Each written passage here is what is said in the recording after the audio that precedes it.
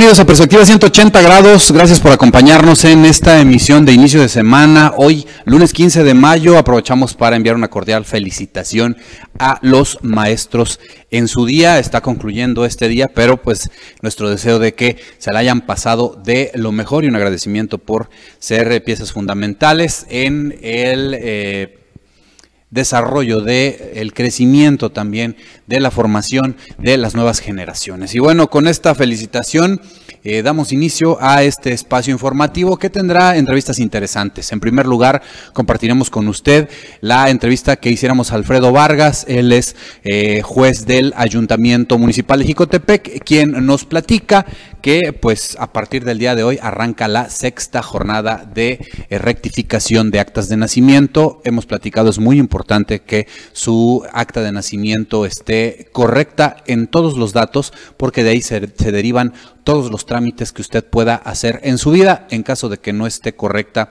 pues los problemas a la hora de realizar ciertos trámites, inclusive eh, temas tan sencillos como el trámite de un pasaporte o como eh, recibir una herencia, puede usted tener algún problema. Evite esto con un sencillo trámite aquí en la presidencia municipal de Jicotepec. Los pormenores los estaremos dando más adelante en la entrevista. Aquí en el estudio tenemos dos invitados. En primer lugar, tenemos a el ingeniero Jorge Carballo González, quien, pues bueno, él es eh, especialista en el tema de eh, la verificación vehicular. Él tiene muchos años preparándose en esta área, especializándose en ella, obviamente para brindar en primer lugar un buen servicio a sus clientes eh, que visiten eh, su taller mecánico, pero en segundo lugar ya ha extendido este tema a el área de asesorías a través de medios de comunicación y también, pues bueno, ya es catedrático en una importante institución educativa en Jicotepec, sobre este mismo ramo. Y es que pues ya es inminente la apertura de un verificentro en Jicotepec y por tanto pues eh, usted si tiene un vehículo automotor tarde que temprano tendrá que llevarlo a verificar. Para evitar posibles complicaciones, la más importante que pague usted su verificación y que el vehículo no pase, situación que es muy común, más por desconocimiento del usuario o del el mecánico que le dé el servicio a su vehículo, eh, pues bueno, esto vuelve a el trámite engorroso y se convierte en una pérdida de dinero. Entonces, pues bueno, hay ciertos temas, ciertos eh, cuidados que se debe de tener con su vehículo tan sencillo como escuchar una plática con Jorge Carballo que estará en breve con nosotros. Y también en el estudio tendremos a Jaime Escamilla Vargas, y a su hijo Jaime Genaro Escamilla, ambos conocidos como Jimmy y Jimmy Jr., quienes, pues bueno, toda la vida en el ramo del ciclismo. Bueno, ellos están aquí para platicarnos de la segunda edición de la carrera MTV Carranza, esta carrera de 50 kilómetros que recorre puntos muy importantes y puntos turísticamente atractivos, ecoturísticamente atractivos en Jicotepec y parte del municipio de Cihuateutla. Una carrera que iniciará en Jicotepec, pasará justamente por Tlaxcalantongo, punto en el que perdiera la vida Venustiano Carranza y regrese a Jicotepec para cumplir no 50, sino aproximadamente 56.5 kilómetros en bicicleta. Ellos estarán aquí para darnos los pormenores, así que si le parece vamos a una pausa comercial y de inmediato regresamos para entrar de lleno con la información.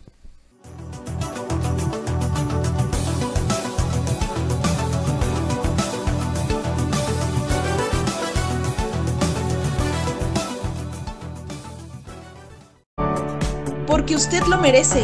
Econosuper le ofrece siempre calidad, buen servicio y variedad. No pierda el tiempo consultando precios. Aquí encontrará todo lo que necesita para su hogar y su familia. Nos esmeramos todos los días para que usted encuentre todo fresco, en orden y al más bajo costo. Porque ponemos lo mejor en cada uno de nuestros productos. El verdadero ahorro está en Econosuper. Óptica Londres, la mejor óptica de Jicotepec. Te ofrecemos el examen completo de la vista, adaptación, reparación y venta de lentes a los mejores precios. Tenemos el surtido más amplio de la región. Visítanos y encontrarás los lentes que mejor se adaptan a ti. Estamos en Allende 118, frente a la Cruz Roja, en Jicotepec. Óptica Londres, la mejor opción para sus ojos.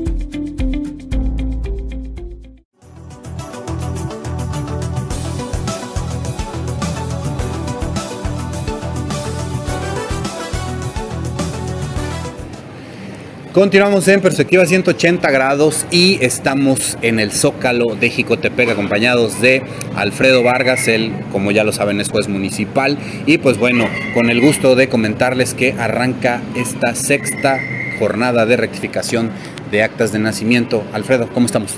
¿Qué tal Beto? Muy, muy bien, muchas gracias por la oportunidad de estar nuevamente en tu programa. Y este, sí, como lo comentas, esta es la sexta jornada de rectificación de actas de nacimiento. Anteriormente en la cierre de la campaña de la quinta jornada, anunció la presidenta que íbamos a abrir una nueva jornada debido a la demanda de la, de la gente y la exigencia de poder corregir un poco más del número de, de personas y, y, apoyarlas más que nada. Exactamente, y digo, parece mentira, pero pues mucha gente tenemos, porque fíjese usted que ya revisando yo mi acta también estoy en el mismo caso, tenemos eh, temas que corregir en nuestras actas de nacimiento, sobre todo las que fueron cap capturadas, eh, por así decirlo, eh, con máquina de escribir mecánica, ahí hay muchos errores, ni se diga de las anteriores, pero pues en efecto es importante corregir ese tipo de errores. Lo hemos dicho muchas veces, pero es importante re repetirlo. ¿Cuáles son los errores más comunes que encontramos en nuestra acta de nacimiento en los que tenemos que fijarnos? Pues mira, los más, los más comunes que me encuentro es la fecha de nacimiento, que normalmente anteriormente, bueno, perdón, anteriormente le ponían este que estaba en la fecha en curso o en su caso el lugar de nacimiento que ponían eh, para referirse a Jicotepec de Juárez en esa ciudad o esta localidad, etcétera, etcétera, ¿no? Entonces, pues bueno, esos son los que más me podría yo encontrar, ¿no? Aunque también podemos encontrar lo que es el nombre de los padres, el, el sexo, que tal vez alguna persona que se llame Guadalupe le hayan puesto femenino en lugar de ser masculino, ¿no? Puede caber ese error, ¿no? Y pues bueno, ahorita que lo comentas, pues podría ser este, te invitamos también a ti para que participes en esta sexta jornada, ¿no? Claro que sí, eh, mira, el, el tema es que en ocasiones vemos que está mal, pero al final pues así cursamos nuestros estudios, no tuvimos ningún problema. El CURP a veces tenemos, hasta presumimos, ¿no? Tenemos dos o tres CURPs y pues mientras los trámites fluyan, no hay ningún problema cuál sea el que se adecue al trámite que hacemos. Pero ¿cuáles son los trámites actualmente que no se pueden realizar porque un acta de nacimiento tenga este tipo de errores? Principalmente es una cuestión de identidad, es un derecho de identidad, eh, donde emanan todos o varios documentos. El CURP, tú lo comentas, el INE, el RFC, este, bueno, esos son los, los, más comunes, se puede decir, ¿no? Pero también podremos encontrar varios asuntos que, que, no nos damos cuenta, por ejemplo, si en dado caso queremos recibir una, una, herencia, si tu papá, en este caso, o algún familiar de tu mamá, le hayan escrito con el nombre de Javier y, y, y esté mal inscrito, pues bueno, entonces se, se puede identificar o se puede mencionar que es una persona diferente, ¿no? O el apellido, ¿no? Que lleves otro apellido. Entonces son datos que aunque son sencillos, bueno, trascienden en grandes cosas, ¿no? O un seguro principalmente también, que, este, que quieras meter a tu mamá en algún, no sé, en algún apoyo, eh, pues ya no podrá alcanzar. Los programas gubernamentales también son muy conocidos esos problemas de que la gente pues no puede ingresar alguna cuestión de un apoyo económico que da el gobierno y por tener mal la fecha, el nombre, este, son, los, son los problemas que nos encontramos. Bueno. En este caso ya identificamos que nuestra acta tiene alguno de estos errores. Eh, ¿Cuál es el eh, procedimiento que se sigue? ¿Qué documentación se tiene que conjuntar? ¿Cuál es la cantidad para cubrir obviamente los, los gastos de, este, de, estos, de estos juicios que se realizan y a dónde tiene uno que llevar sus documentos? Mira, eh, la dinámica es la, la, misma de siempre, ya llevamos esta la sexta, la presidenta municipal eh, viendo la situación de que mucha gente solicitaba este apoyo, eh, con un grupo de abogados que ella promueve, este, ellos son los que, eh, bueno, verifican, estudian el, el procedimiento, después con conjunto es un, es un, trabajo en equipo, ¿no? Nos lo mandan a nosotros, nosotros tenemos el estudio y les enviamos, bueno, sacamos una sentencia. En esta situación nosotros les estamos pidiendo para apoyarles eh, la copia fiel. Hay que asistir al registro civil, que es quien te da la copia fiel, eh, porque un acta normal puede no darte todos los errores que tiene. Entonces para estudiarla hay que sacar una copia fiel. Después va a haber una mesa de atención que va a estar del 31 de mayo, perdón, del 15 de mayo al 31 de mayo, la siguiente semana, con un horario de 9 de la mañana a 1 de la tarde. Lo analizan y de los mismos documentos que tenga la gente, vamos a suponer a un CURP, el INE, son documentos que para que ya no hagan más gastos, este, son necesarios para ponerlos de prueba el abogado les hace la demanda, lo ingresan y ya posteriormente, ya que esté analizado todo, se les manda a tesorería, pagan una cuota de recuperación, son 800 pesos, creo que se ha mantenido siempre el mismo costo. Y gente que ya ha tenido la participación o que ya ha tenido la experiencia de haber tenido esta situación, o este, nos dice, bueno, pues es que yo ya fui con, a un lado, ya toqué otra puerta, ya tuve que ir a Puebla, regresé y me salió hasta más, más caro, o fui con un abogado, no me lo hizo bien, ya gasté hasta 10 mil pesos, etcétera, etcétera. Digo, son muchos casos que hemos echado en seis jornadas y bueno, este, nosotros creo que a la gente le ha parecido bien el hecho de que es accesible, eh, bueno, y que tienen la seguridad de que ya no tienen nada más que cuando se les firma y al final recogen su sentencia. Perfecto, pues entonces la invitación está abierta del 15 al 31, ya lo sabe usted, es eh, muy sencilla la documentación que se solicita, entonces pues no deje pasar esta oportunidad, porque de verdad ya hasta que está uno en la ventanilla, que ya después de que pasó no sé cuántas horas en las colas, le dicen está mal su, acta de nacimiento, tiene usted, y, y déjese usted eso, si hay oportunidad de hacer el trámite, qué bien, pero en ocasiones a veces son citas para pasaporte, que es por ejemplo, son casos muy tediosos para otro tipo de documentos, que es cuando uno se da de topes con la pared de que pues ya no hay más que hacer que pues perder el trámite. Gracias eh, Alfredo por esta entrevista y bueno, platícanos eh, o, invita nuevamente a la gente para que asista a esta jornada. Claro que sí, Beto, mira, la gente que nos escucha, este, hacer la invitación que principalmente se acerquen, que si alguien tiene esa duda, eh, a veces no nos damos cuenta de esos problemas que tenemos, ¿no? Si tienen esa situación, eh, hay personas que tal vez no sepan leer, con gusto nosotros les ayudamos. Hay gente que, este, no sé, el equipo del juzgado también les apoya en ese sentido. Digo, este, gente que tenga, no sé, miles de situaciones, ¿no? Acérquense también que sus familiares principalmente los jóvenes, ¿no? Que puedan este, ingresar el internet, checar, ayudar a la gente, porque son la gente que les van a tratar o llevar sus documentos originales, ¿no? Hay gente que es adulta y bueno, pues tal vez no, no escucha bien o no, no sabe leer, que les ayude, que sea principalmente una sola persona la que les esté apoyando para que no se haga como un teléfono descompuesto, ¿no? Me dijo tal, tal, una sola persona, nosotros vemos la forma de cómo podemos apoyarla, si es que no puede ingresar por alguna, no sé, discapacidad, vemos que alguien le, le ayude con su trámite, al final ya nada más la persona recuperará sus documentos originales. Y pues bueno, que se acerquen, que estamos para servirle, este, estamos este, aquí en Bajos del Palacio Municipal, lo que necesiten estamos para las órdenes. Alfredo, muchísimas gracias y a usted pues eh, le invitamos a no echar en saco roto esta invitación. Nos vamos a una pausa comercial y regresamos con más información.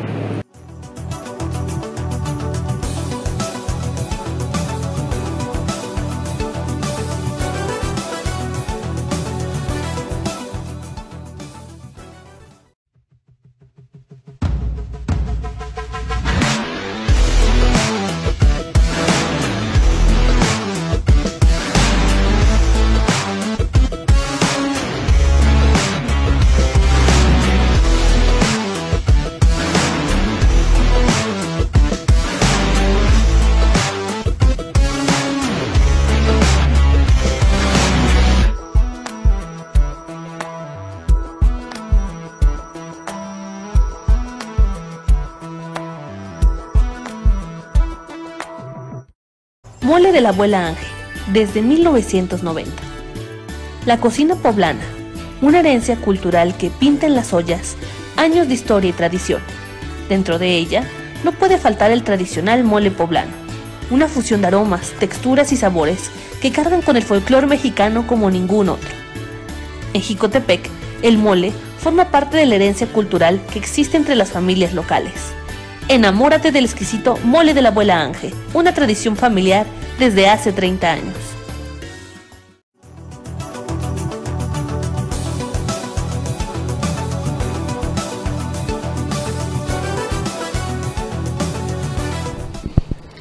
Continuamos en perspectiva 180 grados. Eh, feliz día a los maestros. Hoy 15 de mayo refrendamos esta felicitación y pues eh, el día de hoy nos acompaña en este bloque de entrevista el ingeniero Jorge Carballo González, él es ingeniero mecánico automotriz y pues bueno, ya lo ubica usted perfectamente bien porque pues ha tenido múltiples apariciones en televisión, en diversas entrevistas hablando sobre un tema que ya se nos viene encima a los poblanos, que es el de la verificación vehicular.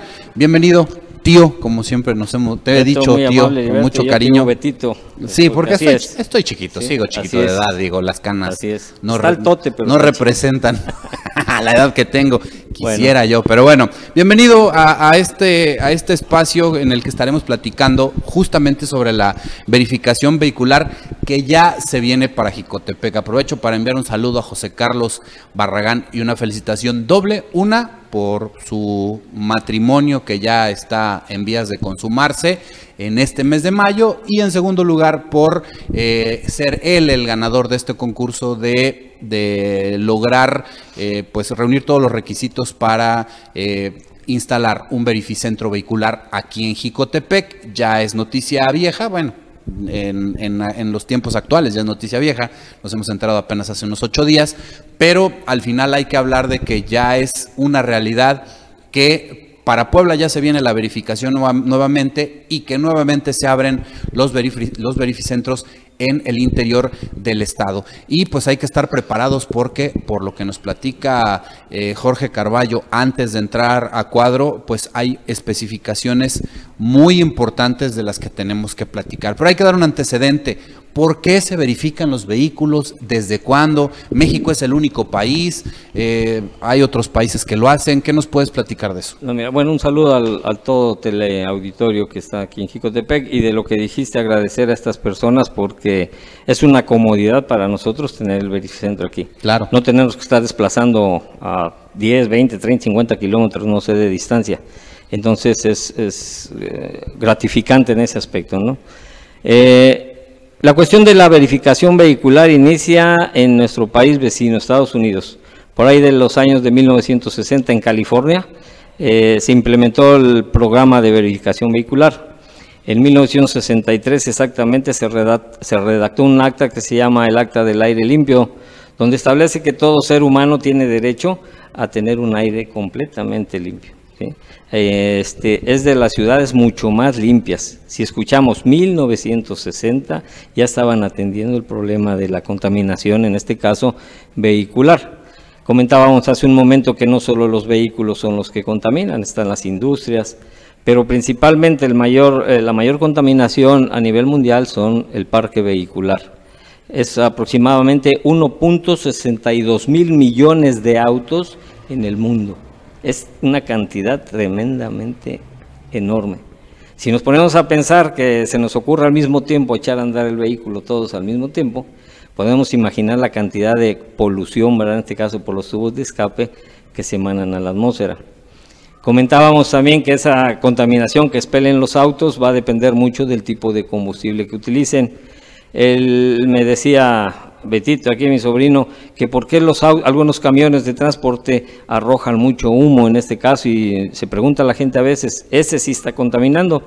Yo le explicaba que por el tipo de combustible a utilizar, en la combustión, que es el proceso químico que se realiza dentro del motor, ese eh, combustible es visible a la hora de que se quema. Nuestra gasolina, que es un compuesto de muchos hidrocarburos, eh, no tiene esa propiedad. Yo puedo ver un coche que en tubo de escape no está expeliendo nada visible, pero si tomamos una muestra, que es lo que se hace en el análisis en un verificentro, una muestra electrónicamente de los gases que expele, que son hidrocarburos, monóxido de carbono, óxidos nítricos y el CO2, que no es contaminante, agua y oxígeno en un momento dado, es lo que sale por el tubo de escape. Entonces los autos diésel que vemos que expelen y se ve la cantidad de humo, si tomamos en proporción el, auto diésel solamente contamina el 0.3% de todo el global de la combustión y un auto a gasolina eh, expele el 1.2%, o sea, contamina más. Y vuelvo a insistir, en este caso no se aprecia, no se puede ver. Entonces no podemos decir que ese autobús anda contaminando más que algún coche que vemos que no expele humo. Entonces, en ese sentido, lo que platicábamos, porque hubo muchas manifestaciones en Puebla, lo recordará usted, desde que se anunció que ya se venía este programa de verificentros para el interior del estado y que después de la pandemia, nuevamente iba a entrar en vigor el, hoy no circula, las contingencias ambientales, etcétera, estrictamente como antes de la pandemia.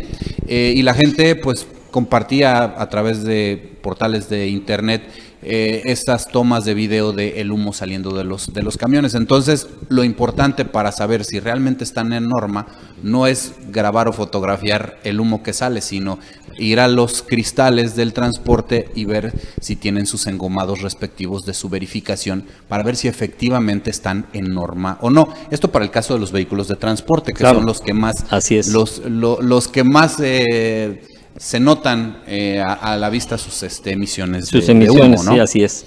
Eh, eso hay que entenderlo muy bien. El hecho de que esperan humo a blanco, etcétera, no implica que estén contaminando a comparación de uno que yo observo y no se ve nada, ¿no?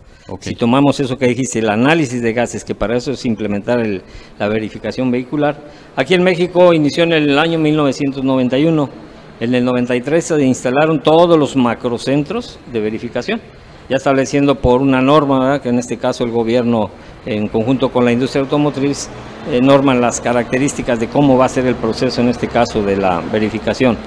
Hablábamos de que existen todavía carros con tecnología con un carburador, el cual lo quitaron porque era un dispositivo, no porque no funcionara el coche, funcionaban muy bien, de hecho corren hasta un poquito más. ¿Por qué? Eh, Porque hablamos de una relación de mezcla que tiene que hacerse para llevarla al cilindro y hablamos de una relación de mezcla que se llama mezcla rica y el carburador esa condición tenía de siempre andar aportando mezcla muy rica al cilindro, lo cual le daba más potencia. Pero, problema, a la hora de tomar emisiones salían con hidrocarburos y monóxidos extremadamente elevados. Claro. Entonces, este, invitan a la industria automotriz a que cambiaran su tecnología y gracias a la electrónica ¿verdad? que ha ido abarcando casi ya ahora en su totalidad al vehículo. Empezamos con los sistemas de encendido electrónico y fueron abarcando la suspensión, la dirección y ahora casi ya es un 90-95% del auto completamente electrónico. Y si hablamos de los autos autónomos, sorprendente, ¿no? Ya no necesitan de uno, de una persona para conducir. Automáticamente toma el control del vehículo el 100%. Entonces, esta modernidad tecnológica pues ha, ha, hecho que, pues dependiendo el modelo, el año del vehículo, sus componentes estén o no preparados para este nuevo formato de verificación que nos platicabas, porque ahora se entiende, o quiero entenderlo así, eh, ¿será más estricto? ¿O será que ya se aplica esta norma para los autos más nuevos y que obviamente los de carburador, los de los que tienen los primeros convertidores catalíticos, este, eh, no tienen tanta ventaja o que tienen menos sensores electrónicos. Sí, aquí la idea fundamental es que aparece el nuevo sistema de inyección llamado el OBD1, que es la primera generación de vehículos que portaron una computadora como control para dosificar el combustible y controlar la chispa del encendido en el cilindro. Viene el avance tecnológico y en 1996 aparece la norma del OBD2, que es la segunda generación. Ahora esta norma lo que implica es que al vehículo le pusieron, le fueron poniendo componentes que controlan las emisiones, le llamamos dispositivos anticontaminantes. Y, hablabas tú de que este, si es más estricto, claro que sí es más estricto. Al haber más componentes implica que va a haber, eh, de hecho, un control más preciso de, las emisiones. Pero sí es, muy complejo en el asunto de, la economía para la persona que tiene un auto. Te hablaba antiguamente, por ejemplo, los autos a carburador. A mí es lo que se me hace muy, pues muy curioso, porque por ejemplo en un auto este, de carburador, los hidrocarburos tienen un límite de 300, se llaman partes por millón, así se le nombra a la unidad para medir ese volumen. Y en un auto este nuevo nos dicen que solamente debe de haber 100. ¿Cómo le permiten al carburador 300? Pues anda contaminando a comparación del de 100, ¿no? Entonces, como que algo así como que ambiguo se puede decir, ¿no? Pero así está la norma, pues se tiene que respetar. Hablábamos de los catalizadores. En el OBD1 teníamos un detalle, teníamos catalizadores que se les llama de dos vías. Ese catalizador internamente solo podía disminuir cantidades de monóxido de carbono e hidrocarburos a límites eh, permisibles o dados por los gobiernos. Viene la nueva tecnología del cambio BD2 y ahora ese catalizador tuvo que haber cambiado porque se anexó un nuevo gas llamado óxido nítrico. Es un gas tremendamente contaminante, destruye los bosques, causa la lluvia ácida. A veces habla, o en las noticias vemos que los pajaritos van volando y, ¡fum! Y caen momento muertos. caen muertos, ¿no? Esa, por ese gas. Bueno, los catalizadores actuales se le llaman de tres vías, el cual tiene un componente interno para reducir eso, esa cantidad de, de gases. ¿Qué pasa con los costos? Se elevan bastantísimos. Comentábamos hace un momento, por ejemplo, para un Aveo 2016, un catalizador de agencia eh, oscila entre los 15 mil y 17 mil pesos, por ahí más o menos. Si voy a querer comprar uno de mercado, no digo marcas, ¿verdad? porque allá afuera hay muchos mercados donde se utilizan los catalizadores, debemos de tener mucha precaución en pedir que sea de tres vías para modelos del 2010 para adelante, son los que portan un catalizador de tres vías. De tres vías. Anterior a eso todavía con un catalizador de dos vías no había tanto problema. Obviamente, yo siempre he defendido eh, a, a mi país, al mexicano, la naturaleza del mexicano. Los mexicanos somos muy, eh, no quisiera decir obedientes, somos muy disciplinados. La disciplina se rompe cuando la misma autoridad hace la trampa y beneficia a algunos otros, ¿vale? O sea, ah, el caso de lo que, lo que platicábamos de los vehículos de transporte ruta en Puebla, que la gente se manifestaba porque decían, ¿cómo el gobierno del estado me está pidiendo que verifique mi carro y ve los transportes colectivos del gobierno cómo contaminan? En ese sentido la gente se vuelve rebelde y entonces ya no quiere hacer nada. Y el punto eh, central de esto es obviamente la economía. Eh, todo el mundo hace un esfuerzo por tener un vehículo seminuevo, muy viejito, la carcachita o el auto último modelo.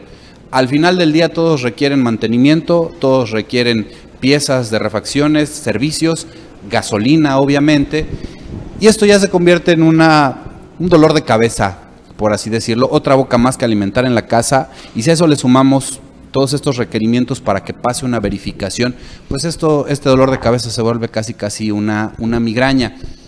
Si no fuera tan engorroso y a lo mejor tan problemático económicamente, la gente de común acuerdo estarían todos dispuestos a verificar su auto en el primer día que le tocara su número de placa. ¿Qué se puede hacer o qué se le puede sugerir a la gente para que la verificación no le salga tan cara, dependiendo el modelo que tenga, tenga un auto nuevo o un auto muy viejito? Y dos, ¿qué metodología debe de seguir para que no lo regresen? Porque tengo entendido que si pagas la verificación y no pasa tu vehículo, el pago se queda y tienes que volver a pagar n veces el número de intentos que tu vehículo no haya pasado hasta que pasa. Entonces, pues eso nos duele a todos y nos lastima. La información es muy ambigua. No pasó tu carro y ajá, ¿y qué le falló? Pues no sabemos. Entonces, ¿cómo preparar tu vehículo para que, sin costarnos tanto, pueda, pueda pasar esa verificación? Claro. Mira, e- es, complejo. Hablamos, Claro. por ejemplo, de, de carros. Yo te digo así bien sencillo. Ponle de esta fecha, 10 años atrás, los coches que están por ahí atrás ya son carros este, con un kilometraje arriba de 150 mil, 200 mil kilómetros. ¿Qué implica? Internamente un motor sufre desgaste necesariamente, o sea, no hay manera de evitarlo. Así estés al pendiente de sus cambios de aceite, de todo, este, volverte muy estricto en ese aspecto del control, siempre va a haber desgaste. O sea, ¿por qué? Porque son piezas que se están moviendo. En este caso. fricción. Hablamos de la fricción. ¿sí? Bueno, ¿qué es lo que sucede? Si yo voy a preparar mi auto para una verificación, debo prestar, la primera atención que debo de tener es la parte interna del motor. Porque si nos vamos a la parte exterior, ya no te hablo de los coches carburados, de los coches con inyección, empiezo a cambiar por ahí los sensores, el sensor de oxígeno, etcétera, el catalizador inclusive que están caros, y si la parte interna de mi motor no es adecuada, no va a dar las emisiones.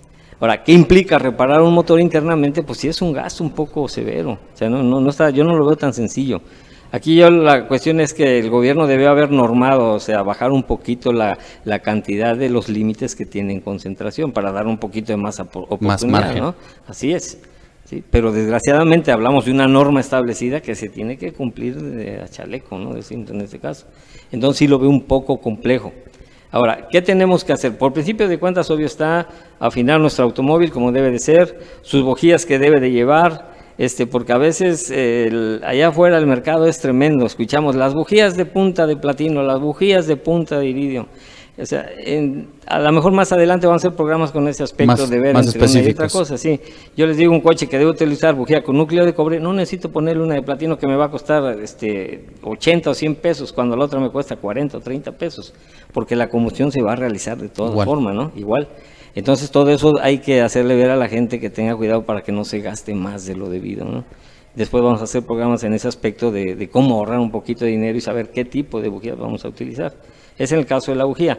Nos vamos a otros sensores, el sensor de oxígeno, mi catalizador. Hablábamos del tiempo de vida de un catalizador, aproximado son 150 mil kilómetros. Ese es el tiempo de vida útil.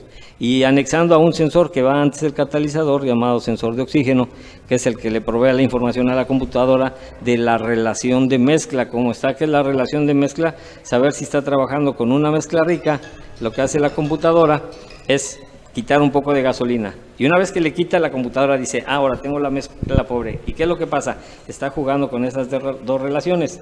Y tenemos un punto que se llama punto crítico de mezcla, que son 450 milivoltios, mm, voltios el punto de cruce. Entonces la computadora está jugando con esos dos puntos y en un momento está pasando por el centro, donde es la estequiometría, que me dicen que es la relación químicamente correcta para el menor número de emisiones y mayor potencia en un vehículo. Sí, que, que, ya los vehículos nuevos inclusive tienen algunas gráficas, inclusive en el tablero que te van marcando, sí, claro, así es de cómo va la relación de... La relación de consumo, y la, este, el, consumo de los kilómetros por litro, etcétera, etcétera, ¿no? Pero ya son los más nuevos. Después poco a poco vamos a ir este, ahondando en esos temas. Sí, es muy interesante, mucho, muy interesante, y que la gente entienda realmente, porque a veces nos molestamos de este lado, ¿no? Llevamos el coche a verificar y no pasa mi auto. A mí... Eh, traía aquí, en el 96 tomé mi curso en CEDUE, Secretaría de Desarrollo Urbano y Ecología, en cuestión de emisiones, cuando el licenciado José Esquitín puso su centro de verificación. Y tuve a bien tomar el curso, ¿por qué? Porque pues, es parte de mi trabajo. Y entonces conozco muy bien cómo funciona eso. Y cómo ha ido evolucionando. Eh, desgraciadamente los verificentros surgió esto, pasaba una gente a verificar y su coche no pasaba, eh, le daban su, este, su certificado de no aprobación y le preguntaban al que estaba encargado ahí, al joven, oye, ¿qué tengo que hacer? Y desgraciadamente ellos cuando los capacitan les dan como receta de cocina. Es que es esto, esto, esto y aquello. Iba la gente a cambiar las piezas y regresaban y, seguía igual el problema. Y eran unas broncas tremendas. ¿eh? Me tocó ver por ahí dos cuestiones fuertes, ¿no? Obvia razón, si estás haciendo un gasto terrible, te están diciendo que tienes que hacer, debes de ser certero en, qué le vas a decir al cliente en este aspecto, ¿no? Cuando yo te estoy hablando de la parte interna, a lo mejor el problema era interno en el motor y, andaban afuera. por eso se convierte en muy, muy complejo. Habrá, digo, porque también en eso, en eso hay que ser muy honestos, digo, eh, como todo profesional, siempre recomendarle al cliente lo que más le convenga. De ahí parten estas dos preguntas. En primer lugar, bueno, más que pregunta es una, observación. la verificación, se, eh, el, no circula se aplica y las contingencias se aplican en ciertas ciudades. Sí. En el estado de Puebla es Puebla capital solamente. Sí. En, obviamente Ciudad de México, ciudades grandes. Todas las están alrededor de México y ya ciudades muy grandes, ¿no? Eh, sería conveniente, digo, a lo mejor no tan sensato, pero sería conveniente alguien que tiene un vehículo que pues es de carburador, que ya está muy desgastado, que platicábamos, el vehículo cuesta 10 mil pesos promedio y le vas a meter 20 mil para que pase la verificación, sería conveniente decirle, no lo verifiques, y no lo ocupes para llevarlo a esas ciudades? De hecho, no los van a dejar ya circular. Un carburado ya no va a entrar a México. Bueno, es, no, pero, o sea, me refiero a que, digo, ocúpalo aquí en Villa Juárez, ¿no? Sí. Eh, ocúpalo para ir a Huauchinango, a Zacatlán, aquí, aquí. el detalle es lo que las autoridades van a tomar como, como cuestiones de decir, te va a haber este por ahí una serie de, ¿cómo se nombran? De inspecciones. Ajá, va a venir, van a venir, van a haber inspecciones en el interior del Estado. Ese es el problema, a veces el gobierno este es extremadamente... Cuadrado. o sea, sí, no debe de ser. No debe ser. Y más para ese tipo de autos que, difícilmente van a cumplir con la norma, difícilmente. Hablas de la cantidad de dinero. ¿Sí cumplen? Sí, si le invierto una cantidad, si tengo lana, se la meto. Eh, ajusto mi motor, cambio carburador, este, cambio de encendido de platinos a encendido electrónico, o sea, una serie de modificaciones que puedo hacer, pero el costo se va a super elevar y es cosa que la gente no tenemos dinero. Ese es el, Ese es el tema, ¿no? el, bolsillo. Entonces, definitivamente, la opción es verificar el carro. Hay que ser responsables. Tenemos el gran problema, ahorita no lo tocamos, de nuestra, este, el cambio climático. Sí. ¿Qué es lo que está pasando? Tenemos un gas llamado dióxido de carbono, es el CO2. CO2. Es un gas que no es contaminante. Pero ¿qué pasa? El ingeniero mayor, yo así le hablo a nuestro Dios, lo puso en nuestra capa de tierra porque dice, ese, ese gas en la atmósfera va a traer el calor y va a haber un punto que lo va a retener aquí adentro en el planetita para que ustedes humanos estén muy felices. Pero ¿qué pasa? Empiezan a crear en la revolución industrial las máquinas, empezando por la de vapor, y empieza a excederse en la cantidad de dióxido de carbono, que ahora ya no puede regresarse a la atmósfera, se queda atrapado aquí. ¿Qué pasa con el calor? Se queda aquí adentro. Se es genera el no es efecto porque sea invernadero. nocivo, el problema es que en abundancia está causando El problema. efecto invernadero, que es lo que nos El- está afectando y provoca el calentamiento global, el deshielo de los Deshielo polos, de los etcétera. polos, sí. Es algo muy grave y que empieza obviamente haciendo conciencia en casa. Entonces, por norma, se tiene que hacer. Claro. Bueno, habrá oportunidad porque esta es la primera entrevista de platicar. A mí me viene a la mente qué pasa, qué pasará con los autos clásicos, que son, es- son un deleite verlos en, en calles, en carreteras. Bueno, de están exentos, ¿eh? aquí te, de antemano te digo, el Ah, auto los clásico clásicos. están exentos. Ah, ok. Tienes que comprobar tú con tu factura, ¿verdad? El modelo del vehículo, después vamos a hablar qué modelos entran Ah, como bueno, auto clásico ahí ya está y quedan la- exentos, la pueden deuda. andar circulando La donde quieran. donde Ok, puedan. ya hablaremos también qué pasa con los autos híbridos, Claro. cómo se adquieren, qué, de qué impuestos están exentos, de cuáles no. En el caso de los vehículos 100% eléctricos, hablaremos también ya de las terminales de carga para claro. autos eléctricos que se están colocando, que sí. pues ahorita sí han sido la burla de muchos porque pues realmente se están oxidando y nadie los utiliza, pero es porque somos un país que no tiene esa conciencia y que también hay que decirlo, lo digo a título personal, tiene un gobierno que no es afín a las energías limpias, entonces Claro. son una verdadera contradicción. Pero bueno, eso lo hablaremos más adelante. Yo sigo haciendo mis preguntas, nunca había tenido un especialista en este tema para preguntar las inquietudes que ha tenido mucha gente y que he escuchado. Sí. Hay gente que comenta, inclusive algunos medios de comunicación masivos que dicen, es que el, el meollo de la contaminación en el Distrito Federal es la refinería de Tula.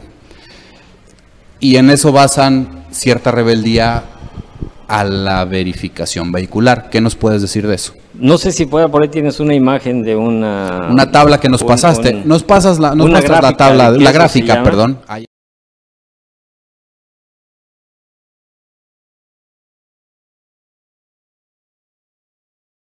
está. Ahí está, esa es muy importante porque son datos, datos técnicos. Todo lo que yo tengo en azul es todo lo que es el parque vehicular, la contaminación, contaminación. del parque vehicular. Lo que tengo en este lado como chedrón, hablamos de la industria. Industria en Toda general. La industria en general. La verde hablamos de las centrales térmicas en nuestro país, todas las generadoras de Las electricidad. termoeléctricas. Sí, las termoeléctricas. El morado tenemos por ahí nosotros eh, cuestiones de los calefactores que se ocupan para la casa, etcétera. Ok. Y el otro cuadrito, pues otras condiciones por ahí de, de medio ambiente. Pero observo lo azul, que es la- el parque vehicular, la cantidad de contaminación que hay. Entonces, eh, con esta gráfica lo que podemos decir es que, en definitiva, la refinería de Tula no es la que provoca No, la ver. contaminación ambiental en, en el Valle de México. No, no, no. Ok, bueno, pues ahí está la respuesta. Vea usted esta gráfica que pues eh, nos muestra justamente o dimensiona muy bien lo que realmente contamina en demasía el, el territorio nacional y bueno, Así no, es. esto no es privativo del, del resto del mundo. Pues bueno, entonces, eh, para como para dejarles una tarea a la gente, pues a todos Sí. los que somos usuarios de vehículos, sobre qué tener ya a la mano o en orden para llevar el vehículo a un taller a que lo revisen y que tenga que tenga lo adecuado para pasar una verificación, ¿qué sería lo primero que habría que sugerirles a ellos? Mira, aquí lo, lo esencial es eh, buscar personas porque de- debe haber cierta capacitación. Ujú. ¿Por qué pasa eso? A mí me entregan un documento donde me dicen no aprobado, voy y se lo entrego a mi mecánico. Cuando el mecánico lo observa, a veces no sabe ni, ni, ni qué cosa significan las siglas que están ahí, ¿verdad? En este caso. Entonces, desde ahí empiezan los grandes errores. Hay que tener mucho cuidado en buscar gente que realmente este, se capacite, porque es una necesidad estar capacitados. Hace un momento te mostré ahí el curso de capacitación que tuve a bien dar a la universidad, sobre las emisiones precisamente a los ingenieros mecánicos. Ahorita soy catedrático de ahí de la universidad y este, es de mucho interés, ¿eh? porque es una realidad que tenemos aquí enfrente. Hablaste tú de los carros híbridos y eléctricos, ya está encima la tecnología, ¿eh? ya está puesta. Decíamos que en países de Europa y Asia en el 2030 fina la combustión interna, que implica adiós coches con inyección electrónica, etcétera, todo lo que implica en los hidrocarburos. Aquí en México está pensado para el 2040, ¿verdad? Pero pues ya sabemos. También lo vemos lejos. Que quién sabe, ¿no? Nosotros somos más calmaditos. Sí, no llevamos prisa. Aparte, pues tenemos que darle uso a dos bocas. Bueno, así está la situación. Ok, pues bueno, pues un gusto tenerte con nosotros y pues estaremos de manera subsecuente invitándote para ahondar en este tema y... Eh, la gente si tiene oportunidad de tener dudas que te las hagan llegar, por favor, y este las vamos analizando, que es muy importante lo que la gente tenga por ahí de curiosidad, porque sí es importante este tema, mucho, muy importante. Perfecto, pues nosotros agradecidos con que haya estado con nosotros el día de hoy. por la invitación. Y pues la próxima semana no, este, no deje de sintonizarnos porque estará nuevamente con nosotros para darle continuidad a esta plática tan interesante que pues a todos nos compete porque todos de una u otra forma utilizamos un vehículo para movernos, ya sea particular o de uso público inclusive, como los taxis, eh, las colectivas, los autobuses. Entonces, pues muchas gracias. No, gracias a ustedes, gracias por, recibirme aquí. Si tienen alguna duda contigo, si tienen algún vehículo para, para que pues ya se vaya preparando para la verificación, ¿dónde te encuentran? ¿Cuáles son tus números? Yo soy, mi taller está en la calle Duraznotla, número 188. Mi número telefónico es el 764 109 99 86. Lo repito, 764 109 99 86. Para cualquier duda que se les ofrezca, estoy a, sus órdenes. Y agradezco mucho tu invitación porque sí es un tema mucho, muy importante. Y está muy amplio, es mucho, muy amplio. Poco a poco vamos a ir ahondando en esto. Claro que sí, estaremos platicando desde todos los puntos de vista y aclarando todas las dudas. Pues nosotros vamos a una pausa y continuamos con nuestros invitados. Hay una gran e importante carrera de eh, ciclismo en Jicotepec, la segunda emisión de la carrera ciclista eh, Venustiano Carranza. Son 50 kilómetros, va a ser un recorrido impresionante este próximo sábado y los organizadores están aquí con nosotros, así que no le cambie porque vamos a darle pormenores. Le adelanto, voy a participar a ver si no me infarto. vamos al corte, regresamos.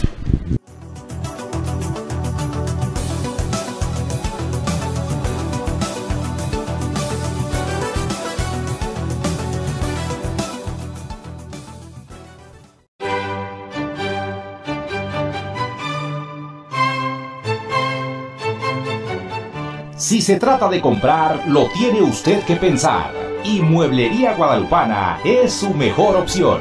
En atención, calidad y precio, nadie le gana a Mueblería Guadalupana. Porque en Mueblería Guadalupana, usted siempre gana. Visítenos en Reforma 103 bis en Jicotepec de Juárez, Puebla.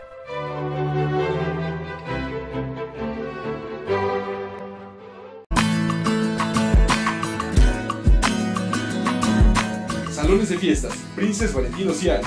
Tus eventos están en el mejor lugar. Te ofrecemos renta de mobiliario, mantelería, cristalería, loza, banquetes, luz y sonido. Todo a precios accesibles.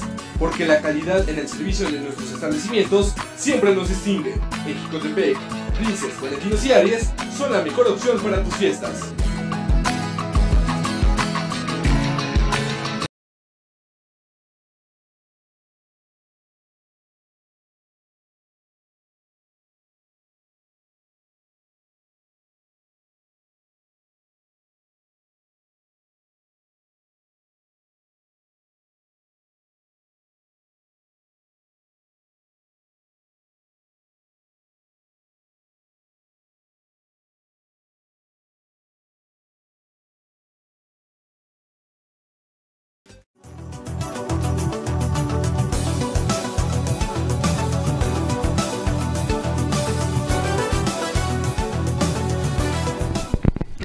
Continuamos en perspectiva 180 grados y le platicábamos justo antes de ir al corte que pues ya es inminente esta segunda edición de la carrera MTV Carranza y están con nosotros justamente los organizadores a quienes nos da mucho gusto saludar y recibir. Jaime Escamilla Vargas, mejor conocido como Jimmy, bienvenido Jaime. gracias, muy buenas tardes. Y Jaime Genaro Escamilla, Jimmy Junior, para no perder la costumbre. Bienvenido, amantes de el MTV de la bicicleta de toda la vida, todo mundo los conoce por ese entusiasmo que, que, han tenido siempre por, por la bicicleta y pues ahora que se ha dado este boom a este deporte en el norte del estado de Puebla, pues bueno, ellos son los precursores de muchas cosas, muy activos en este, en este trabajo que es tan tenaz pero que promueve tanto este deporte y que ahora las nuevas generaciones lo están agarrando ya muy, muy de manera formal. Jimmy, qué gusto tenerlos a ustedes, de verdad, a tu hijo que pues también es un experto en esto del, del mountain bike. Platícanos cómo surgió la idea de hacer esta carrera y cómo va la organización, porque ya es este sábado. Ya es este sábado, ya. Mira, normalmente antes se hacían las carreras desde mi papá con, con ayuda de Cruz Roja y como siempre con la ayuda de los ayuntamientos que han estado. Se hacía la carrera totalmente en la feria cuando cada vez que se inauguraba la feria. Había una carrera cada año, mm, se dejó de hacer. Luego nosotros empezamos a hacer paseos nocturnos, igual por idea de mi papá, para que voy a decir que mi idea mía, mía. Dice hay que festejar el día de la bicicleta. Le digo, sí, claro, papá ya salió el día, entonces era el 19 de abril, después ya creo que ya se cambió para el 16 de abril, ¿no? Me parece, no, no recuerdo bien, ahorita no lo he leído. Antes era el 19 de abril. Y bueno, y así empezamos por parte de mi papá, pues ahora sí que mi papá si todavía estuviera vivo, tuviera 55 años su taller ahorita por estos días, pues, normalmente sería el cumpleaños del taller de mi papá. Y pues ya nosotros, pues yo llevo prácticamente 25 años con mi taller propio, pues toda la vida, desde niños hemos arreglado bicicletas por, por mi papá.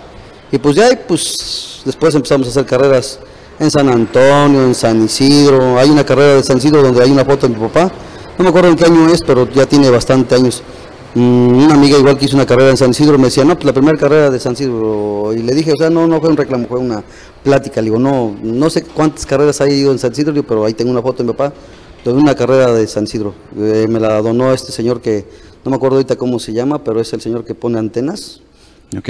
Este, y pues ahí hemos estado constantes yendo a Poza Rica, a Álamo, hemos ido a varias carreras, a una carrera que hacían este, en Texcoco que era este, le llamaban la carrera del conejo, a Hidalgo, que también ahorita hay un serial en Hidalgo y este, pues poco a poco nos hemos ido granjeando igual con la gente y lo demás. Hubo un rato que dejamos como que todo apagado por cosas que pasan, ¿no? Claro. Y este, y pero sí hemos estado dándole duro y, y gracias a Dios se puede decir que muchas cosas que han hecho en Jicotepec somos pioneros nosotros ahora sí que ahí estamos y a la gente pues tratamos de servir lo mejor que se puede a la gente que viene de fuera, a la gente que nos conoce, pues ya sabe que ahí estamos y pues ahora sí como dicen, se va a ir algo feo, ¿va? No somos monedita de oro para caerle bien a todos, ¿verdad? Pero tratamos de caerle bien a la gente y ser lo, lo más educado que se puede, pues a veces que se sale, ¿no? Pero ahí estamos. Y pues la idea de la Carranza pues es que normalmente salió de las cuatro ciénegas, normalmente, ah, pues Carranza y que normalmente pues que acá, pues tristemente faltó por acá Venustiano Carranza el 21 de mayo, y pues de ahí va, pues algo, algo cultural, ¿qué le podemos poner? Pues este, pues carrera Carranza. Carranza. Sí, hay muchos nombres, hay otra carrera que queremos hacer que la estuve platicando con el ayuntamiento normalmente, anteriormente, luego que es una carrera que se llama Carrera Cultural de Jicotepec de Juárez Puebla. Esa es, esa es la idea, pero entre una cosa y otra, pues nomás se me ocurrió Carrera Carranza, no, pues viene mayo, 21 de mayo, festejo de Venustiano Carranza. Pues esa hay que ponerle, pues ya así salió la tal cual y después salió lo de Cuatro Ciénegas y he estado más o menos siguiendo lo, todo eso que se ha estado viniendo de lo que es de Venustiano Carranza, pues es una historia pues de México, ¿no? Y pues hay que darle un este pues más auge, ¿no? Para que se sepa sabiendo la historia de lo que es Jicotepec y lo que es México, ¿no? Claro, por supuesto. Y justamente uno de los puntos que toca en este recorrido es Tlaxcalantongo. Jimmy, platícanos la ruta. ¿Ya la hiciste? ¿Ya estuvieron haciendo marcaje o van a empezar a hacerla? ¿Cómo, cómo nos puedes platicar en su totalidad que va a estar la ruta? Mira, la ruta tiene 50 kilómetros. Eh, es un maratón, nada más que en bici.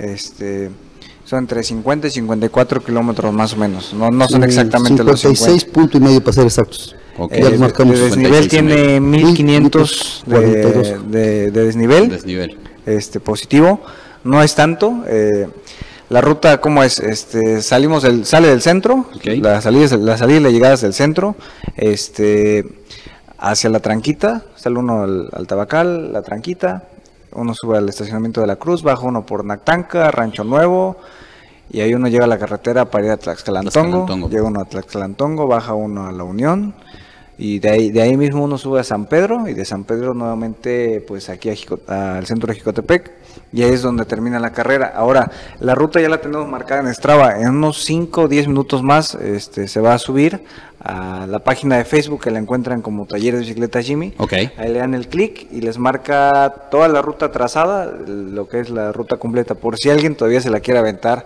faltan cinco días para la competencia. Yo creo que hoy o mañana alguien se la puede echar, incluso hasta un día antes. Este, alguien se la puede echar y ver cómo está la ruta para reconocerla. Todo el camino es ancho, digo, tiene, tiene carretera, tiene terracería, tiene paisajes, este, tiene calles, digo. mm, uno pasa sobre la parte de la cruz y hay mucho ganado, sobre los cafetales, digo, y la gente de Nactanca, Rancho No, todas las comunidades que se pasan, pues eh, es muy agradable, ¿no? Siempre los niños están echando porras, incluso hasta a veces sacan cubetas de agua del manantial o de agua que tienen en sus casas y pues a veces hasta la están regalando, ¿no? Claro. Digo, esta ruta es bajada, no hay como que tanto tiempo de irse parando, pero pues yo creo que para lo- más para los que están en la categoría mamut, que es una categoría no competitiva, pero que sí entra dentro de la competencia, que nada más hacen como que el reto para rodarla. Ajá. Digo, son quienes la van a disfrutar más. Y ya las otras categorías, te platico un poco de las categorías. Ok. Son siete categorías, agregando la mamut son ocho. Es, hay juvenil, tanto varonil como femenil, de 13 a 18 años. Digo, porque hay niños que ya tienen 13, incluso 10 años y se aguantan ya fácil 50 kilómetros. Uno de mis alumnos tiene 12 años y va a correr.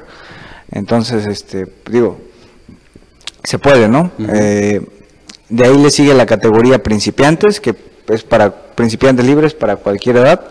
Este, para los que van empezando en el ciclismo, digo, es una buena opción, ¿no? Para, y si es su primer competencia, pues mucho mejor, ¿no? Este, luego sigue la categoría Master 30, Master 40, Master 50 y la categoría Mamut. Este, y también está la categoría libre, que ya es como la profesional, donde entran cualquier edad, que saben que van por el Sí, que van por el primer, por primeros el lugares. primer lugar. los primeros lugares. Este, está esa. Y dentro de la femenil está la juvenil libre de 13 a, a 17 años y está la femenil libre. Ok. No hay, no hay tan, tantas categorías de mujeres porque no hay tantas mujeres. Ok. ¿Cuántos menos ciclistas? Pero a comparación de otros años ya hay más mujeres Sí, ciclistas sí, y sí, se ha visto más movimiento de mujeres en bicicleta y creo que eso es muy bueno. Claro. Porque pues ahí se ve que no nada más los hombres pueden. claro. Sí, no, no, sí. No, y a veces, de, O sea, de- sí. ¿qué ejemplo ahí, es? ahí se, dado. ahí se ve que ya tuvimos dos presidentas en Jicotepec. Ya con eso nada más para dejarles tantito de tarea. ¿no? Claro, claro. y pues son 50 kilómetros. El costo de la inscripción es totalmente en línea.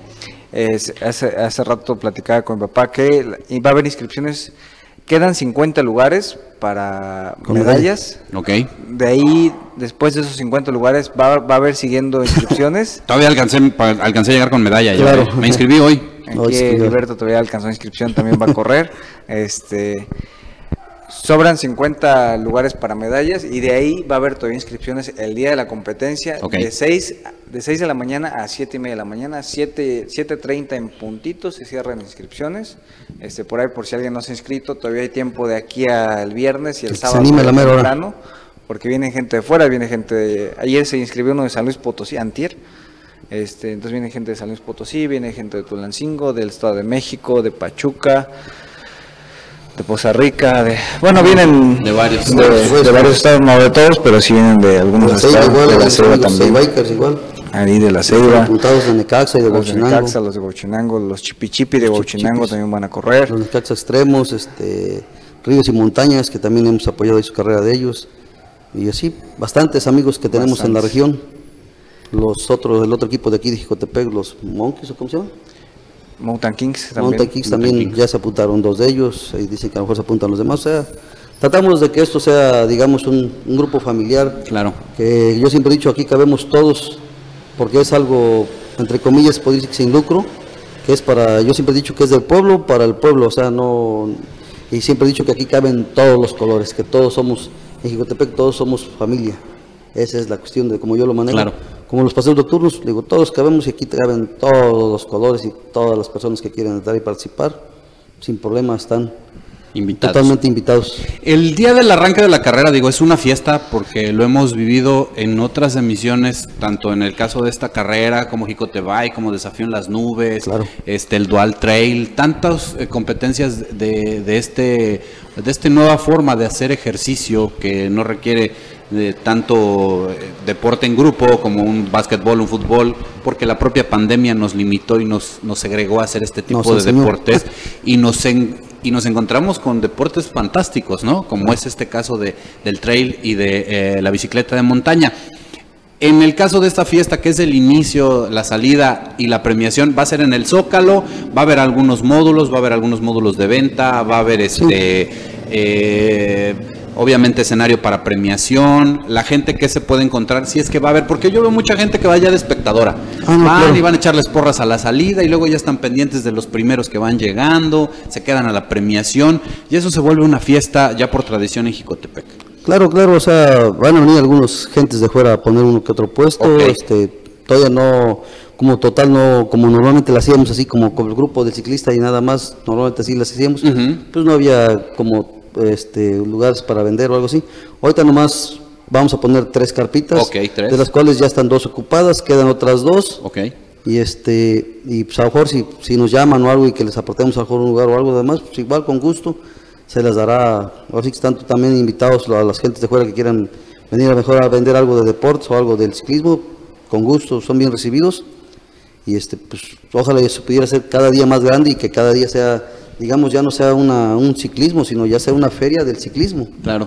Eso, se, eso vamos primeramente Dios poco a poco, vamos a ir avanzando. Eh, pero primeramente Dios el próximo año, ojalá estemos vivos porque pues nadie tiene la vida comprada. La estamos programando para el 19 de mayo, para el próximo año. Ojalá igual nos siga ayudando el ayuntamiento, como ahorita está ayudando el ayuntamiento de Lupita Vargas, así que le agradezco eh, el apoyo incondicional que nos ha dado, pues y los otros ayuntamientos anteriores también nos han apoyado cuando hemos hecho algo igual, o sea, no tengo problema con el- los municipios de Jicotepec, Claro. porque ahora sí como digo, somos familia de Jicotepec y pues es algo bueno para Y los lo- jóvenes. Y la gente lo vemos, sin duda que cuando vemos que, que, que Jim y que su hijo están ahí este, en, en- en la organización al frente o siendo parte de la organización, eso ya garantiza una seriedad y un éxito en todos los sentidos. Colaboran muy fuerte en Jicote Bike, hay que, hay que reconocérselos también. Y tanto como Lucio, por ejemplo, Lucio Santos en, en este Desafío en las Nubes, que yo le reconozco mucho, también a Jimmy y a su hijo les reconozco mucho el trabajo y el aporte que han hecho para Jicote Bike y que han hecho de esas, de esas dos carreras, han hecho algo que se suena ya a niveles internacionales, que no es fácil de decir. Me llamó mucho la atención hace algunos días que estuve en el recinto ferial que ya hay un circuito en el que están practicando mm, desde niños, ¿eh? algo que la verdad me motivó mucho y me emocionó porque digo, yo estoy retomando la bicicleta ya a mis cuarenta y tantos años y ver a estos niños que cómo suben rampas y brincan su bicicleta y la reparan y todo, para mí fue algo que me, me- me- realmente me emocionó porque pues esos son los espacios que necesitan ahora las, las nuevas generaciones para desenvolverse en ámbitos deportivos. ¿Quién las está organizando? ¿Ustedes ya, ya, ya los tienen detectados? ¿Cómo le pueden hacer los chavos que quieran ingresar a este grupo? ¿Cómo está esa onda? Así es. el- la escuela es una escuela de ciclismo. Ok. Este, eh, el espacio no es de nosotros, es prestado por el presidente de la Acción Ganadera, que es David Garrido, Garrido, que a él siempre le agradecemos el espacio. Eh, ahí tenemos las rampas. Este, digo, estoy encargado de, de hacer las rampas, pero pues no las he hecho yo solito. Hay una comunidad de papás de, de- de los pequeños que asisten a la escuela de ciclismo que nos han ayudado. Mi papá, el ayuntamiento y otras personas que se han sumado. Pues también, o sea, esa- es un espacio Es un grupo. un grupo que, ha- que hemos creado un espacio para todos los niños. Este, digo, la entrada al recinto ferial todos sabemos que pues podemos entrar siempre y cuando la cuidamos porque pues es- Claro. son áreas áreas verdes. Eh, el hecho de ocupar el espacio pues no se cobra, no tiene ningún costo, nada más que siempre recomendamos que se cuiden las rampas, que tiremos la basura en su lugar. Ahorita la semana pasada tuvimos reunión con, con los papás, una pequeña plática y dijimos que íbamos a llevar botes de basura, ahorita ya tengo unos botes de basura, los vamos a colocar en el recinto ferial. Este, ¿Para qué? Por si llega a ir algún alguna ciclista o algún ciclista a recinto, pues pueda depositar su basura, basura en- en donde debe. lugar correcto. Digo, y las personas de limpieza ahí dentro del recinto ferial, pues ya se encargan de, de tomar los botes y depositarlas al camión de la basura. Las rampas, digo, siento que son para todas las edades, porque no son rampas donde uno necesariamente tiene que volar. Incluso un niño de tres, ten- tengo una pequeñita chiquitita, este, se llama Caro, tiene tres años y pasa las rampas, entonces como de que no las brinca, pero pues sí las pasa, ¿no? Este, y ya los entrenamientos son miércoles, sábados y domingos.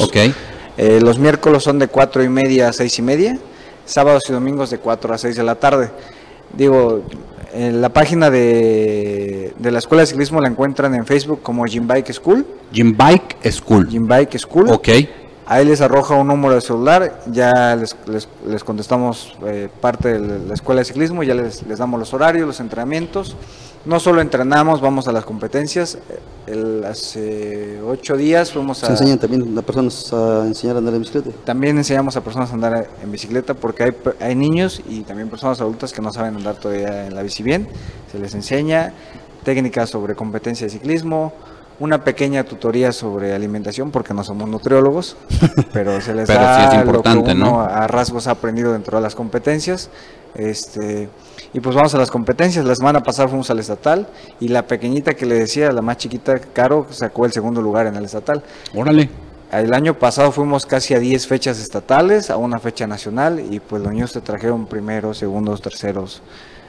Una sobre, primita mía se trajo el tercer lugar en la primera fecha nacional el año pasado. Digo, no, yo soy el, el maestro, el coach, pero pues quien pone las fuerzas son ellos. Claro. Yo soy su guía, pero de ellos, ellos son quien ponen todo su corazón, todo su esfuerzo y pues es- el triunfo siempre va a ser de ellos. Sí, pero la experiencia que ustedes le dan en cada, les dan en cada consejo es súper importante, es, es básica. Yo creo que, digo, se escuchan ustedes muy modestos, pero aquí estoy yo para recordarles de verdad todo el esfuerzo que han in- invertido, todos los años de trabajo que han invertido en hacer recorridos, en reconocer prueba y error y pues todo eso se ve en el resultado de este de, de tus alumnos. Entonces, se dirigen directamente a la página, ahí vía celular ustedes les, les responden Sí, y ya se pueden inscribir. ¿no? Obviamente requisitos, pues tener bicicleta de montaña, Guantes y Su casco. casco y guantes y casco. Y llevar siempre hidratación. Hidratación y pues ahora sí que en la carrera pues va a haber hidratación.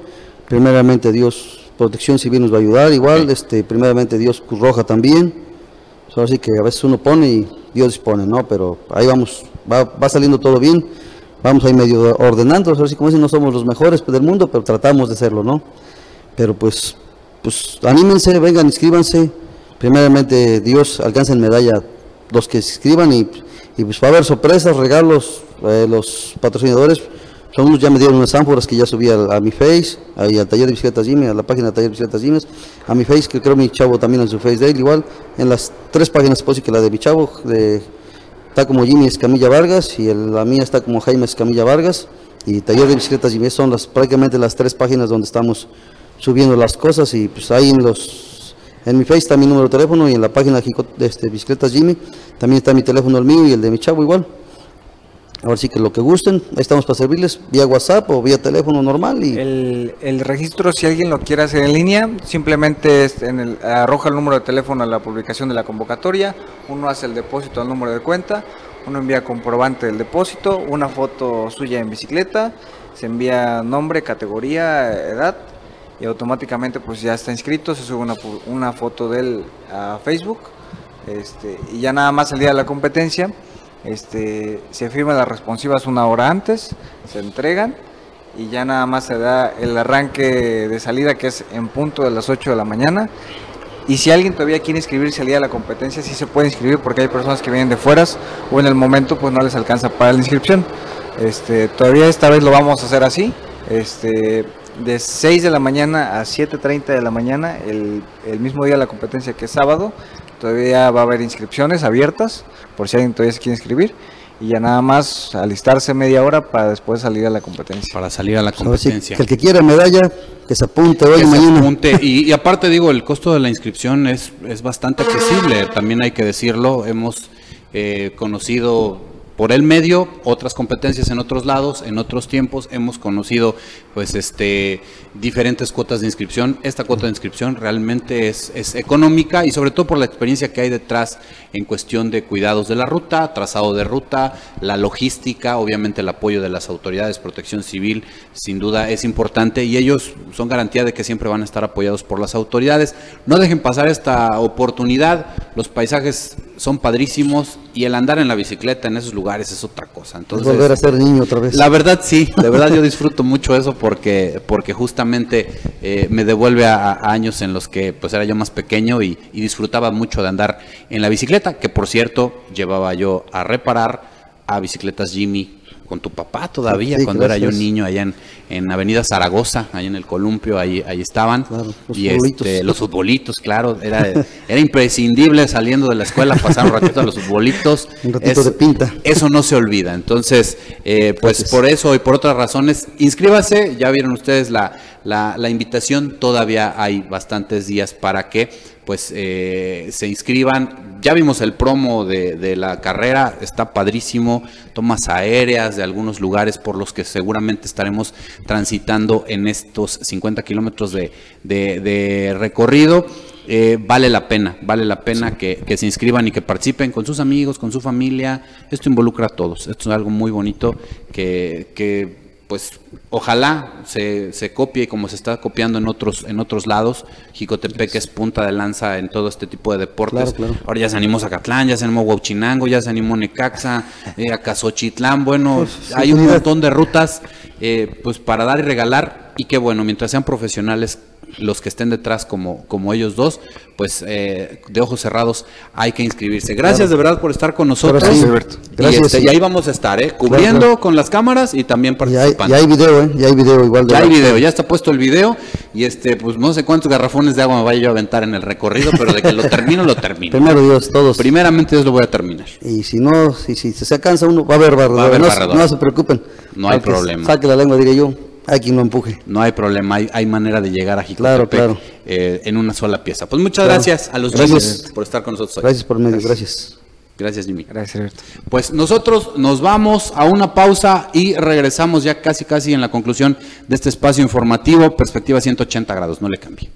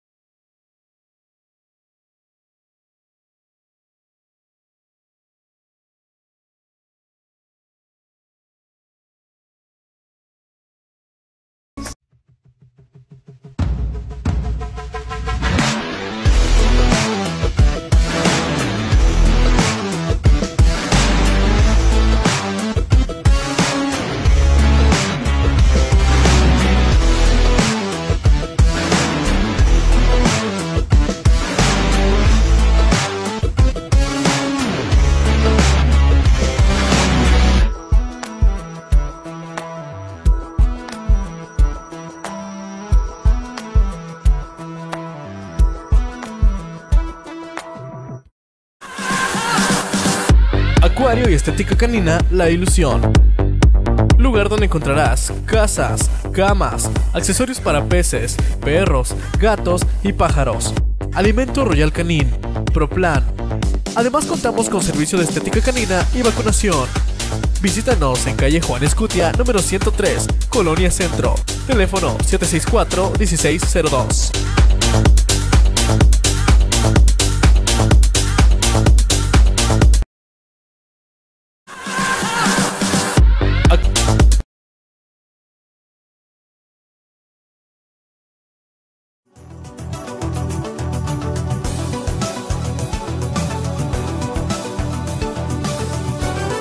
Es así como llegamos al final de este espacio informativo Perspectiva 180 grados. Gracias por acompañarnos, gracias a nuestros invitados que accedieron a estar el día de hoy en el estudio de Canal 3. Mañana la programación habitual de Canal 3. Yo lo veo el próximo miércoles con más noticias a través de Perspectiva 180 grados. Le adelanto, tendremos la cobertura de la visita del secretario de Gobernación, Julio Huerta obviamente secretario de Gobernación del Estado de Puebla, quien estará en el martes ciudadano de Jicotepec a partir de las 9.30, 10 de la mañana aproximadamente. Platicaremos este tema dual que trae Julio Huerta. Una, el mensaje de de la buena nueva de que hay un nuevo gobernador en el estado de Puebla que trabaja la política de manera diferente, un gobernador aparentemente más cercano al pueblo y por el otro lado la agenda política en la que él pretende ser el próximo gobernador de Puebla. Esto lo estaremos platicando el miércoles como nota informativa y el viernes por supuesto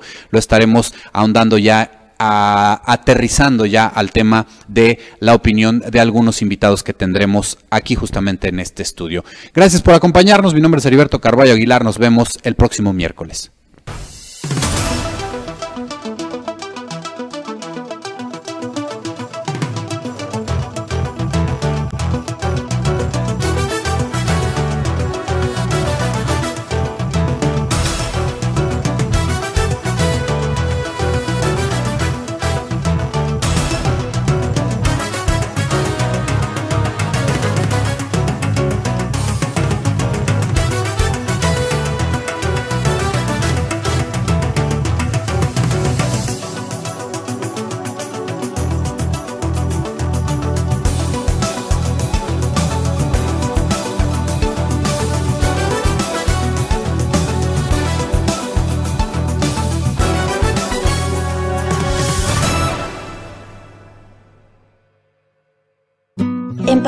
Panadería Marilolis tenemos el tradicional sabor del pan de Jicotepec, hecho con ingredientes frescos de la región. Tenemos marquesote, roscas de azúcar y sal, charros, pan de huevo y por supuesto la deliciosa galleta esponjada de Jicotepec. Contamos también con gran variedad de telas, franelas y jergas. Los domingos encuéntranos en la 1 de 7 de la mañana a 6 de la tarde en calle Quiles Cerdán, esquina con 12 de diciembre. También estamos en Mercado Emilio Amador en el local 6 en Jicotepec. Pan con sabor a Jicotepec, solo en Panadería Marilolis. Porque usted lo merece. Econosuper le ofrece siempre calidad, buen servicio y variedad. No pierda el tiempo consultando precios. Aquí encontrará todo lo que necesita para su hogar y su familia. Nos esmeramos todos los días para que usted encuentre todo fresco, en orden y al más bajo costo. Porque ponemos lo mejor en cada uno de nuestros productos. El verdadero ahorro está en EconoSuper. Óptica Londres, la mejor óptica de Jicotepec. Te ofrecemos el examen completo de la vista, adaptación, reparación y venta de lentes a los mejores precios. Tenemos el surtido más amplio de la región. Visítanos y encontrarás los lentes que mejor se adaptan a ti. Estamos en Allende 118, frente a la Cruz Roja, en Jicotepec. Óptica Londres, la mejor opción para sus ojos.